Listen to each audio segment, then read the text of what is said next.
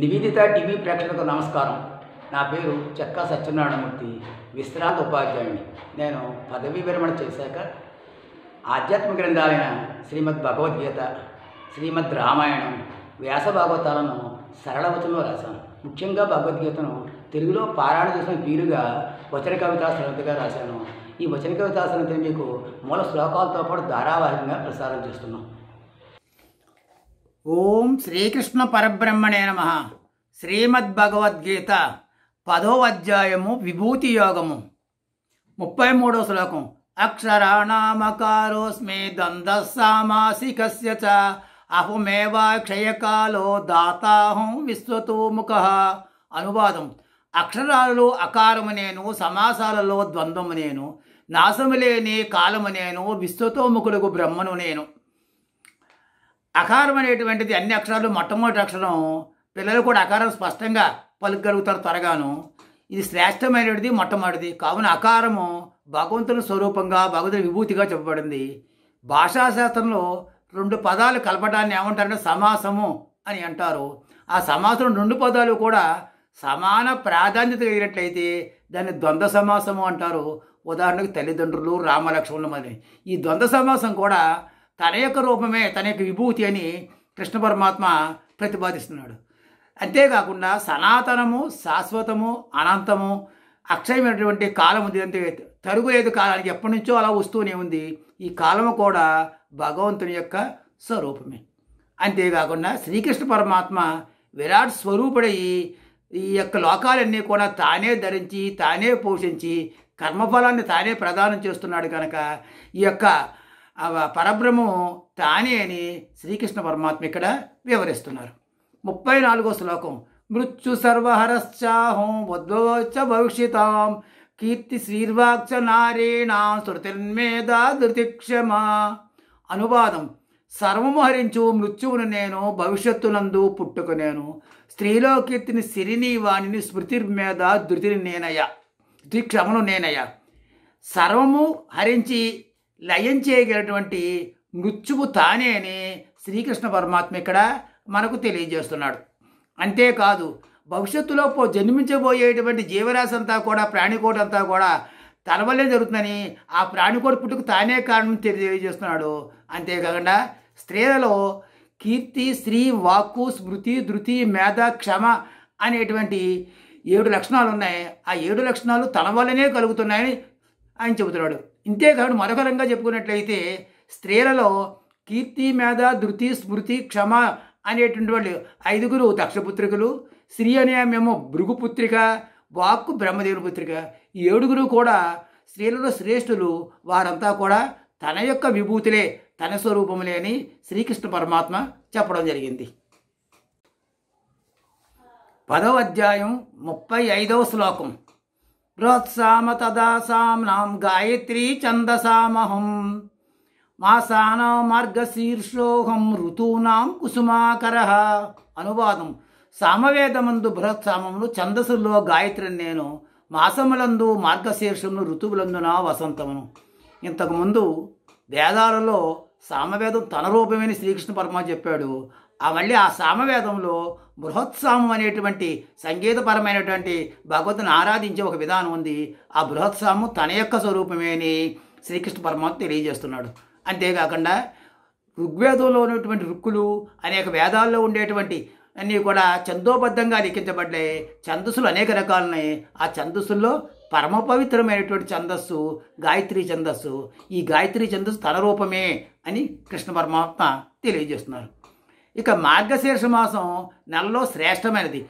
పూర్వకాలంలో మహాభారత కాలం అయినట్లయితే మార్గశీర్షంతో సంవత్సరం ప్రారంభమయ్యేది. అంతేకాని మార్గశీర్ష మాసంలో చేసే వ్రతాలు నోములు అన్నీ కూడా మిక్కిలి ఫలవంతమవుతాయని శాస్త్రాలు చెప్పబడింది. అంచేత మార్గశీర్షము తన స్వరూపమే అని కృష్ణపరమ తెలియజేస్తున్నాడు. ఇక వసంతకాలంలో చెట్లను చిగురిస్తాయి. ఎంతో ఆహ్లాదకరంగా ఉంటుంది. అంచేత ఋతువులలో వసంత ఋతువు భగవతుని యొక్క స్వరూపం.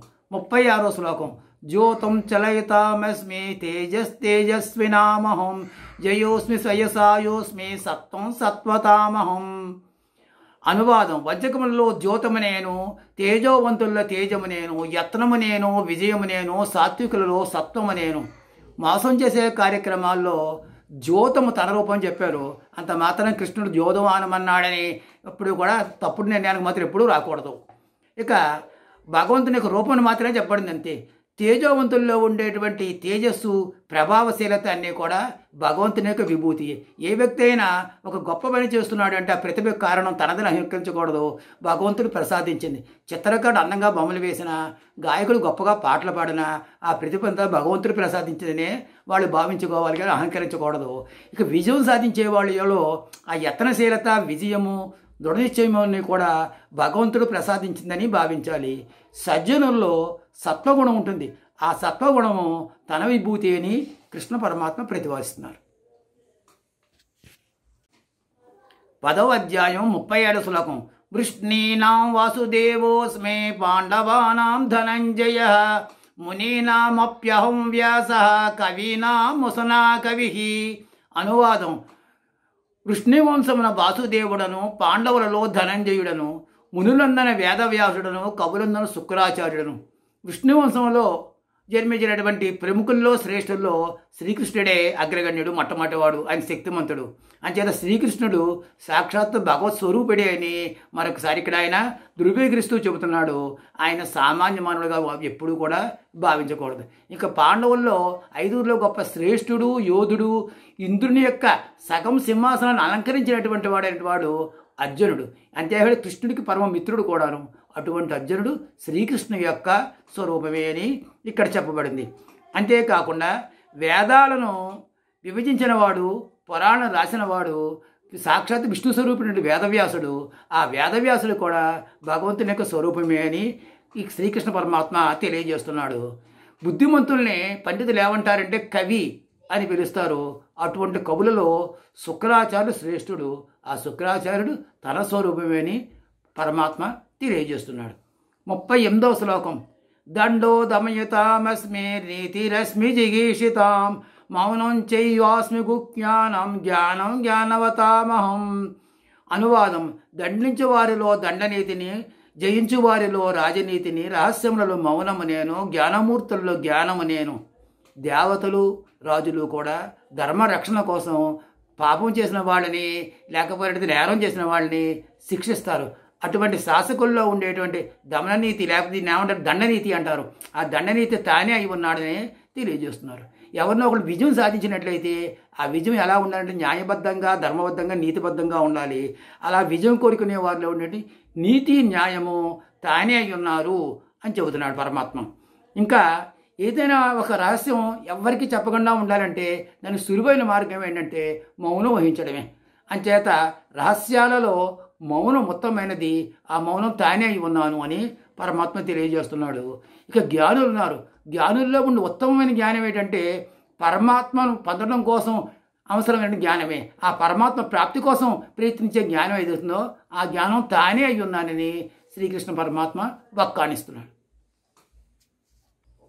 పదవ అధ్యాయం ముప్పై తొమ్మిదో శ్లోకం. యచ్చాపి సర్వభూతానాం బీజం తదహమర్జున న తదస్తి వినాయస్యాత్మయా భూతం చరాచరం. అనువాదం సర్వభూతముల మూల బీజములు నిశ్చయముగా నేనేయుండని చరచరాత్మక ప్రేణులన్నీయు నీరు లేనిచు నిల్వజాలము చరచరాత్మక ప్రేణులన్నీ కూడా వాటి పుట్టుకకు భగవంతుడే ఆధారం జీవులుండే చైతన్యం అంతా కూడా ఆయన వల్లే లభిస్తుంది. అంచేత సర్వభూతాలకు పరమాత్మయే బీజము. ఆయన లేని ప్రాణి ఈ విశ్వంలో లేదు. ఆయన లేని వస్తువు ఈ విశ్వంలో ఏమీ లేదు. ఇంతకుముందు అధ్యాయంలో కూడా శ్రీకృష్ణ పరమాత్మ ఏమన్నాడంటే నేను విశ్వమంతా వ్యాపించి ఉన్నాను అన్ని లోకాల్లో వ్యాపించి ఉన్నాను ఈ చరాచర జగత్తంతా వ్యాపించి ఉన్నాను అని చెప్పాడు ఆయన. అంటే వాప్య పరమాత్మకి వ్యాప్తి లేని యొక్క ప్రాణులు ఎక్కడా ఉండవు. అంతేకాకుండా ఇంతకుముందు పదిహేడవ శ్లోకంలో అర్జునుడు అడిగాడు కృష్ణుడిని ఓ కృష్ణ నిన్ను ఏ విధంగా నేను చింతన చేయాలి అని. అంచేత ఏ విధంగా చింతన చేయాలి? అంతటా ఆయనే నిండున్నాడు కనుక ఏ రూపంలోనైనా చింతన చేయొచ్చు. అంచేత భగవంతుడు లేని చోటు విశ్వంలో లేనే లేదని ఈ శ్లోకములు తెలుస్తోంది. నలభైవ శ్లోకం నాంతోస్తి మమ దివ్యానాం విభూతీనాం పరంతప యాష తూద్దేశ ప్రోక్తో విభూతేర్విస్తరోమయ. అనువాదం దివ్యములైన నా విభూతులకు అనంతమన్నది లేను అర్జున కొన్ని మాత్రమే సంక్షిప్తముగా ఇప్పుడు నీకు వివరించేదని. భగవంతుని యొక్క దివ్యమైన లీలల గురించి విభూతుల గురించి చెప్పడం సాధ్యం కాదు. అవి అనంతమైనవి అసంఖ్యాకమైనవి.